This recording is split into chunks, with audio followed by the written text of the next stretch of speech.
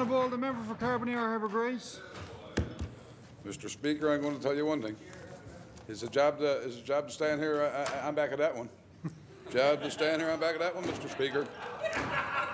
Mr. Speaker, I just want, Mr. Speaker, Mr. Speaker, I'm, I just want to say one thing.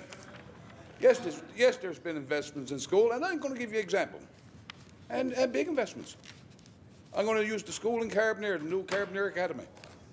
That's the school I'm going to use that when it was open, when it was open last year, when it was open last year, it was built too small. It was built too small. The government had to turn around and build four more classrooms on the side of it while the children were in there trying to learn. So I'm going to tell you something. When the member, when the member from St. John's North, when the member from St. John's North gets up and speaks about uh, schools being too uh, too small, there's one case there now. Somebody over there, somebody over there, Mr. Speaker, got to tell me what happened. What happened to the numbers? Why were the numbers? Because right at that point in time, we had three and four kids. We had three and four kids in one locker. In one locker. So, Mr. Speaker, there's something, you know, and, and I mean, and, and I respect, I respect uh, uh, uh, you guys over there, but I'll tell you something. You don't tell all the truth, Mr. Speaker. They certainly don't tell all the truth. I can guarantee you that. Mr. Speaker, I've had issues here over the last uh, over the last year or so. One of them was down in Freshwater, and I want to speak about my district, Mr. Speaker, because I'm very proud to stand here as the member of the House of Assembly for the Carbonear Har- Harbour Grace District. And I want to talk about number three, well, down in Freshwater. Now, we all know there's arsenic into it, and we know it's high level ar- arsenic. The Minister of Municipal Affairs knows us, uh, uh, all about it. Asked the, uh, he asked the, uh, the uh, local service district chair down there to, uh, to uh, go out and get estimates. And he went out and got estimates. Now, he was talking to somebody in municipal affairs there the other day. Now, the arsenic is a big, major issue, boys. The worst thing that we could ever do is turn our backs on people who got that situation because they deserve, the people of Freshwater deserves clean drinking water. As the same, as the, as the same fresh water. as every person in this province, Mr. Speaker. Every person. You're not, you're not the, uh, you're not the uh, gentleman who was told under the local service district? You're not, you're not he was told? You're going to have to wait for the next new budget to come down. Shame, Mr. Speaker. Shame on, shame on this government to allow the people in Freshwater, we say, to be treated like that. I can't, I can't believe it. I can't believe it, Mr. Speaker. Mr. Speaker, I stood here many times and I spoke about the, uh, the, uh, the road cutoffs uh, down in Freshwater and Bristol's Hope. I spoke here on the floor uh, on long lengths on it. I presented petition after petition. So, while government's over there tapping themselves on the back and saying how wonderful, wonderful they are, I can assure this government, you're, you're not wonderful to the people in the Carbonear Harbour Grace District because you've neglected them. You've neglected them.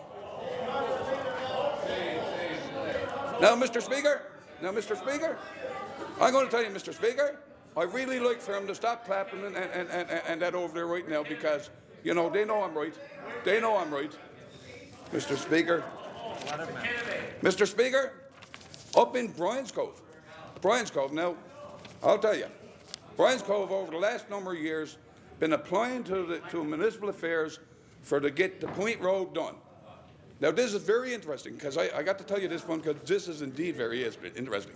Point Road is to the point now where it's hardly usable. Last year, they might have been able to tack coat it, we say, and save the road. Forget about it. After this winter, it's not going to happen. Now, school buses goes out over that road, Mr. Speaker. School buses. And you know what the school bus uh, driver is saying? We can't go out there any longer to pick up the children. We can't go out there any longer to pick up children. Why? It's dangerous on the bus for the kids, so they can't go out. Mr. Speaker, just imagine. This road's been applied for by the town for the last four or five years, and to this point is not done. I'll tell you how bad it is. I'm going to tell you how bad it is. The Department of Transportation, I think, does their ploughing firm over there on this road. It's that bad the Department of Transportation gave them 60 bags of wet patch to patch the holes into it. That's how bad it is, Mr. Speaker. 60 bags of wet patch. Can you imagine? So how bad was it that the, that the, that the equipment didn't even want to go out there? My, Mr. Speaker. I heard the Minister of Finance get up there yesterday and he spoke about all the things we say that the government done good. And, and you, you guys over there, you actually absolutely got me amazed. You guys have been in government for 12 years. And every time I hear each and every one of you over there getting up to speak, every time he, he blames on the Liberals.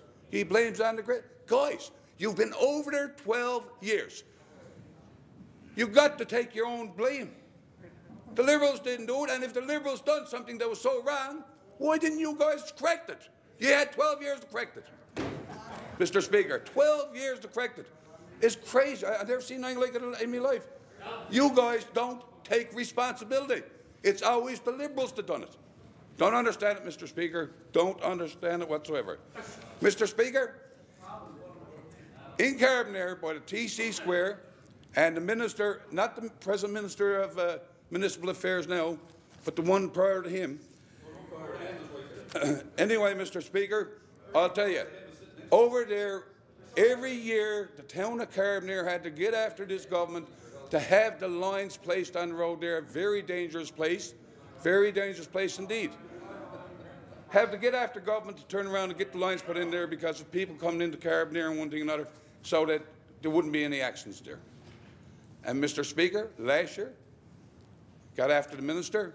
They, they finally got the lines put in, but they forgot to put the arrows in. They forgot to put the arrows in. We went back to him. I went back with, with, to him uh, uh, in an email and letters to follow up. The, the arrow signs, the directional arrows, were never put on it, Mr. Speaker. Never put on it.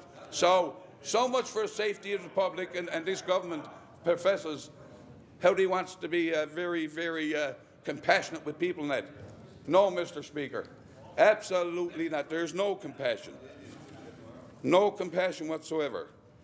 Mr. Speaker, and I just mentioned the uh, point, the uh, point of uh, the point of road there in uh, in uh, up in the district there in Bryant's Cove, Mr. Speaker. At what point in time do we have to look at this and say the safety of our children is most foremost in our mind? At what point in time, Mr. Speaker? Because apparently for the last four or five years, they didn't have that concern. This town's been applying for that. They had their share to put into that, Mr. Speaker. And so safety is certainly not, not on the minds of this group.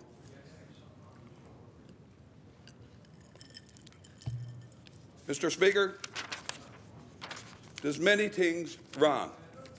Lady Lake Road, I'll just give you an example. Lady Lake Road's been waiting for uh, road work for the last 20 years.